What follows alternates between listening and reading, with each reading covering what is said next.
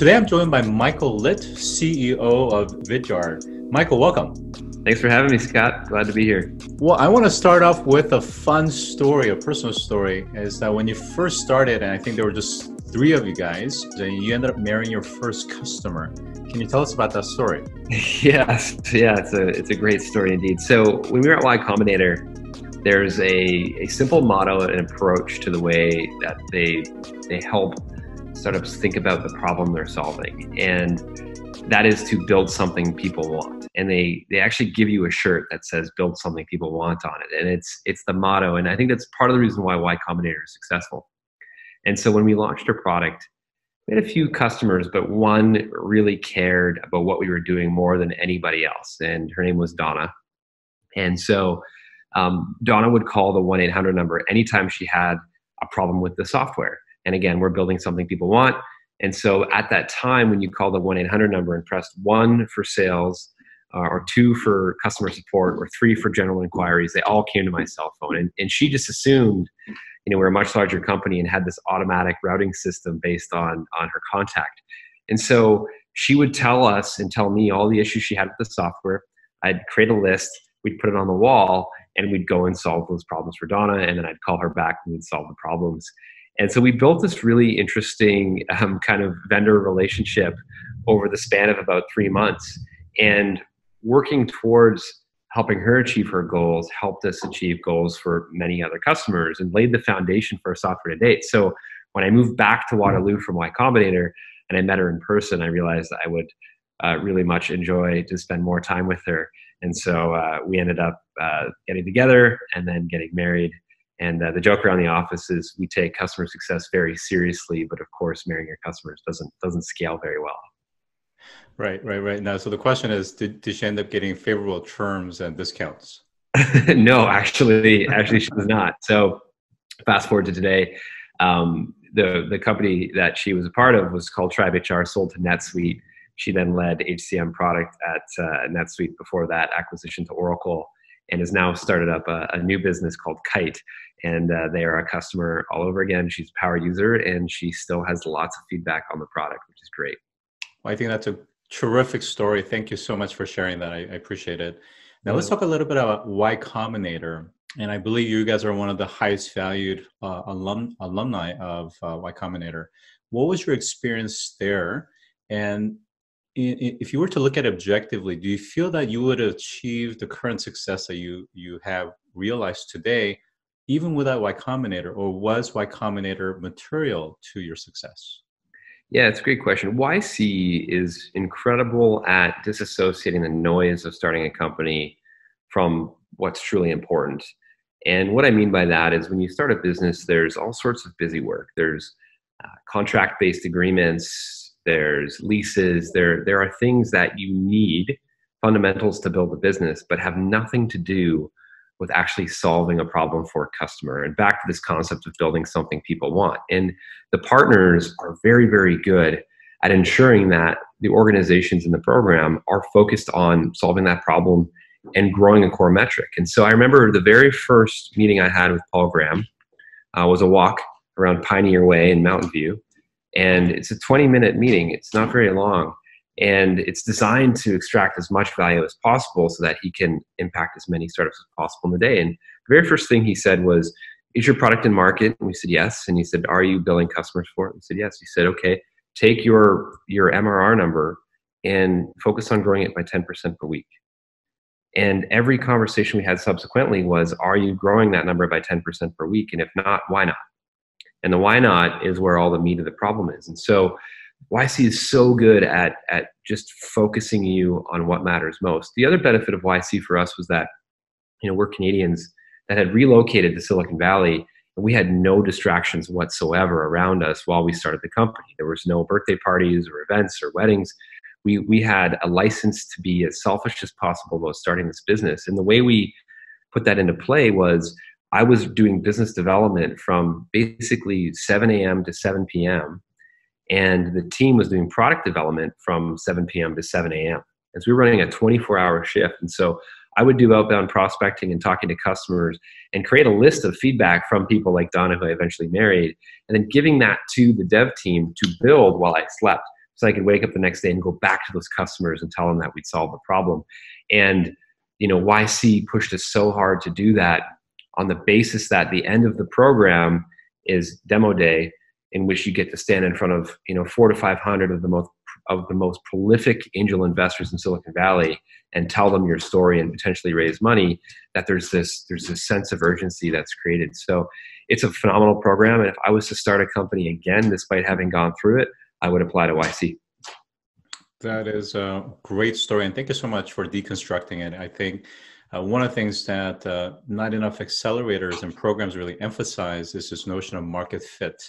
Uh, yes. If you think about really great successful businesses, it's because they solved a, a real need, and sometimes that uh, market fit doesn't happen until many years later. And I think about Amazon AWS as an example, where when Amazon launched it, it just didn't seem like there was market fit, but they were patient and they saw the trend and where things were going, and eventually, of course, things just took off. Great story. Let's talk about your company, Vidyard. Uh, yeah. Uh, it was originally started as a production company, but the company that eventually became the startup was spun off. Uh, now the, it's a video platform that hosts and shares and tracks videos. It's, it helps to create videos easily and also allows for video personalization for viewers. Now, this space is fairly crowded. So how do you guys stand out and why do your customers love you guys? Yeah, for sure. So really quick on the backstory there, uh, we knew that there was a gap in how companies were using video. And so we solved that gap by helping them produce the video. And in that process, we understood the gaps of simply putting that video on their website. And the reality is, is, is the status quo solution to do that is, is YouTube. The problem with YouTube is that it's an ad-based platform. Um, if your competitors are smart and you're using a YouTube embed on your homepage, you know they can advertise on your homepage. And YouTube's model is designed to take you to YouTube.com, where you know YouTube is is is built around cascading your your time with more and more content, right? And so maybe you watch a product video on a on a on an interesting website or a vendor that you're interested in. You click the YouTube video, you're on YouTube.com. Six hours pass, you're watching videos of dogs riding skateboards. And so the simple problem that we solved initially was how do we create a branded solution that helps people easily put video on their website. And the goal was always to be the fastest way to do that from upload to embed. And and do that in a way that lets them control the experience for the viewer. And so that's how we stood out very, very simply. Then we realized we could actually track how people were consuming the content. We could anonymize that data and give it to the business en masse, but we could also use the video itself as a way of capturing a lead or leads information. So after the video or before the video, we could embed a form, and that form could be a, a Marketo form, a Pardot form, an Eloqua form, a HubSpot form, you name it. And that led us to the realization that we could actually track how individuals were consuming video, and we could push that data into the customer's CRM or their marketing automation system. And so we started getting into this really robust and sophisticated set of functionality that enterprises were craving which was who's watching video, for how long, are they becoming a buyer, how do we justify the ROI of video against these views, which then led into all sorts of other functionality in terms of uh, personalization of video en masse, the, the creation tools, the Chrome extension, uh, integrating those creation tools into other workflows, and so on and so forth. So it's a very traditional story of solving a really simple, straightforward problem and adding functional complexity based on our customers' needs uh, to essentially create what we what we are today. And and today what we are is a video platform for business. And so if you're using video for marketing, we have a set of solutions for you. If you're using it for sales prospecting, if you're using it for later stage sales funnel development, supporting customers, internal secure communications, live streaming town halls in a secure fashion so that information doesn't leak, that's where we have uh, solution sets. And so we tend to be very successful not only in small businesses, but but primarily in in the mid market and enterprise as well. Yeah, I think that really starts to kind of explain why you guys have changed or challenged the freemium SaaS model. Um, yes. Um, most of course starts with a free free version and then move up to professional and enterprise. You guys have actually focused on the enterprise, the mid market, and so forth because really aside from the actual hosting creation it's the analytics it's the insight it's the action oriented uh, data that then helps them to inform not just their ROI, but how to actually build this content to monetize it. So I think that's really uh, very exciting. Uh, tell me how your model of approaching enterprise first worked out. Yeah. So, you know, in the very beginning of time for us, when we built the hosting platform, you know, it was a very simple, you know, $20 per month subscription fee. And we just did not have the distribution or the eyeballs or the SEO to really drive that kind of model successfully. And as we got into kind of more complex customer arrangements and building these integrations and providing really good data, we knew we were a valuable solution that could charge more. And then we got into security, uh, which is a, a massive challenge for large enterprises. And so we started kind of with a freemium small business model, and we moved up market into into the enterprise space. And um, that's where we found success. That's where we kind of found breakaway growth and uh, and what we would call escape velocity in, in the startup ecosystem. That said, the, the buying process for software has changed. And I was with Brian Halligan from HubSpot uh, during the inbound conference, and and we were having a, a, fairly intimate discussion with a number of executives. And he asked the table and said, I asked the table a very simple question: How many of you have made a software buying decision in the past year? And nobody's hand went up. And then the the the extra question or the extended question to that was, How many of you made a software buying decision in the five years prior? And everybody's hands went up. And so the discussion became around what has changed. And what has changed is that in the martech landscape where we exist in 2011 there was 100 100 150 businesses now there's over 7000 and every one of those businesses is calling the cmo saying we're going to accelerate deal flow. We're going to help you create more pipeline. We're going to help your team save time building email campaigns and nurtures and all these types of things. And it's all the same message. The interesting shift is that the buying power has actually gone to the people that are doing the work. And if they need to solve a problem like putting a video on a landing page, they're going to go and use a free solution because they don't want to go through the overhead and the complexity of creating a sales order and getting procurement involved and running an RFP because they need to solve the problem today and right now, not in six or eight weeks based on most enterprise purchasing cycles. And so we realized there was an opportunity given that our technology was designed to be the fastest way to upload and embed a video on a website to offer that basic functionality for free with a clear upgrade path as the needs of the organization got more complex. And so we could offer a free solution without putting our enterprise or mid market or small business um, operation at risk just by adhering ourselves to the new purchasing process of the way companies work. And again, what happens is someone in the business is going to start using the software, getting value out of it, telling someone else in the business who's going to start using it, getting value out of it. And then eventually they'll go to the CMO or the VP sales or the CIO and the lead decision maker and say, look, we're getting success out of this thing. We need to buy it so that we can get these extra features. Versus us going in and saying, hey, you should buy this because this is the value we'll produce. This is conversely, here's the value we've gotten.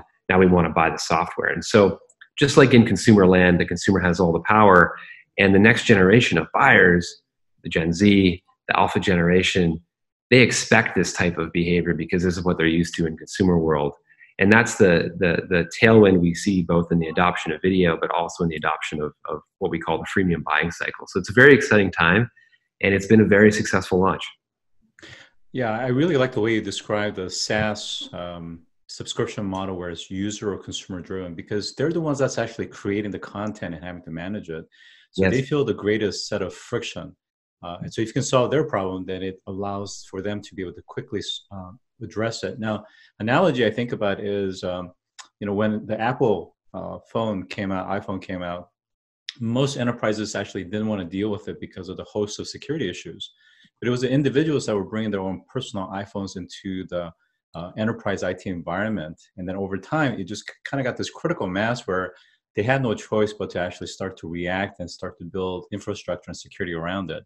So in a way, I think that critical mass that comes from the, the actual employees or the contributors that's doing it. And of course, once your video is there, uh, you need to actually do personalization. They need to you need to actually have analytics.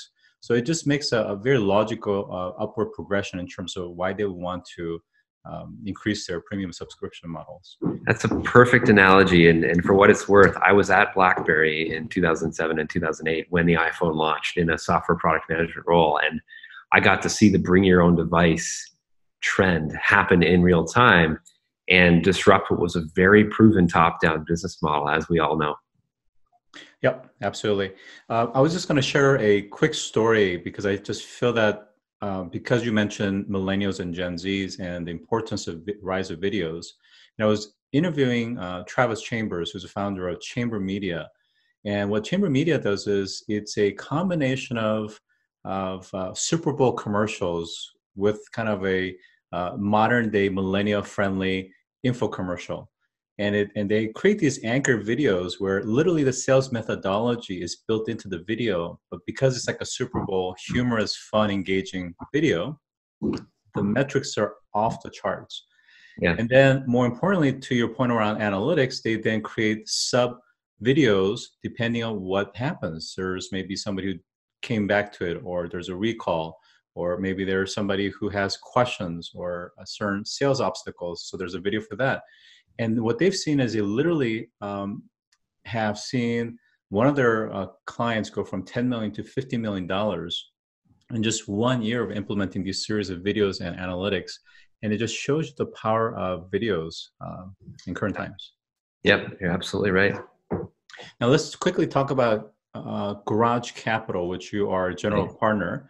Um, my understanding it was funded by venture capital catalyst initiative. It was part of a $50 million grant how does it work? And then more specifically, what do you guys invest in? Yeah, it's a great question. So when we came back from Y Combinator to Canada um, to start operating Vidyard, we were one of the first companies to do so uh, that didn't stay in Silicon Valley. And the reason we chose to, to come back was specifically for the access to high quality developer talent. And the reality is, you know, video platform, the, the architecture involved, trying to uh, ensuring that you create a reliable uh, streaming service is not a, a, trivial task. And so we needed some really high quality engineers. That's why we chose to, to come back to our alma mater. And Dev and I are both grads from the University of Waterloo, which is a very well known engineering and CS school here in Canada.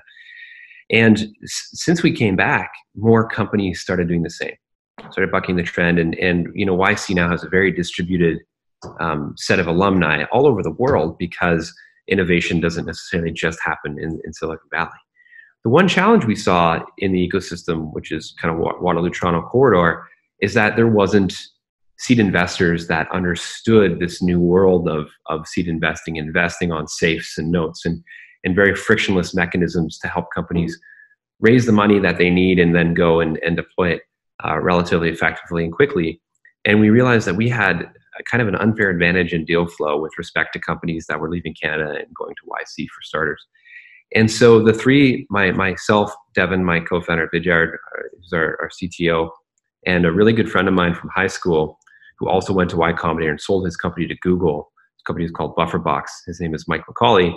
Decided to pool our resources together to invest in a few of these companies. And six investments later, one of our investors in Vidyard said, "Hey, you know, you guys are generating some really interesting deal flow and we've done Series A or subsequent investments in a few of your deals. Would you be interested in taking some capital from us and using our back office to go invest and, and continue to, to build this ecosystem of great companies and to help them scale their sales teams and technology teams, et cetera? So we, we quickly went from six investments, which is what we call Fund One, uh, to an $8 million fund, Fund Two, um, that did about um, 40 to 50 checks in companies ranging from fifty to hundred thousand dollars.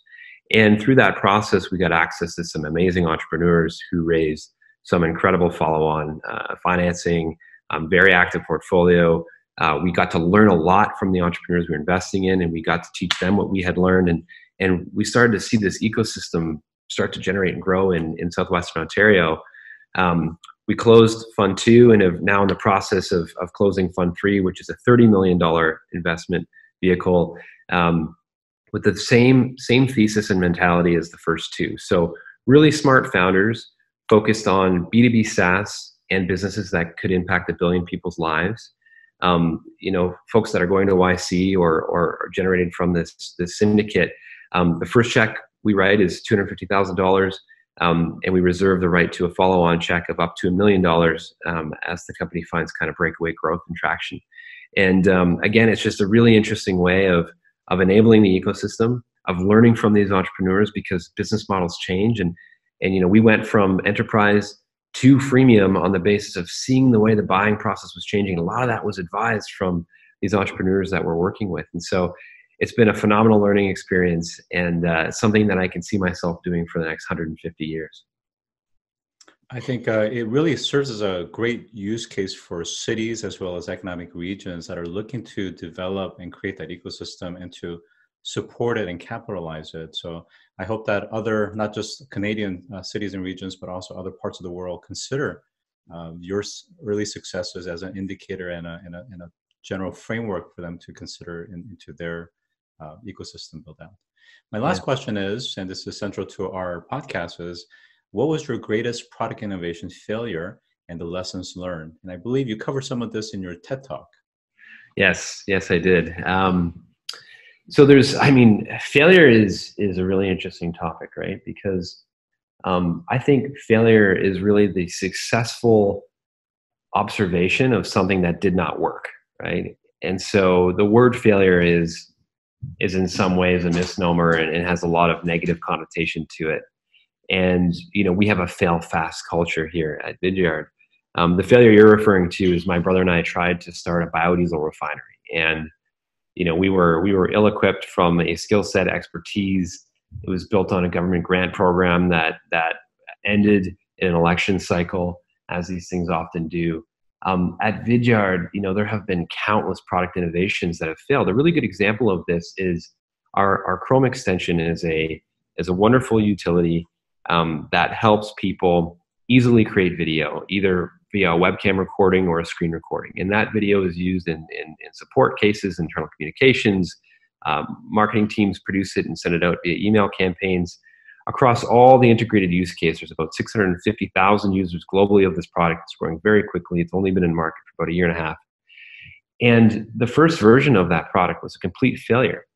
Uh, it was called Studio. And what Studio was, was a way that you could upload a PowerPoint and speak to the PowerPoint, which would then create a video and then, and then have that sent, which doesn't sound entirely different from what we inevitably produced.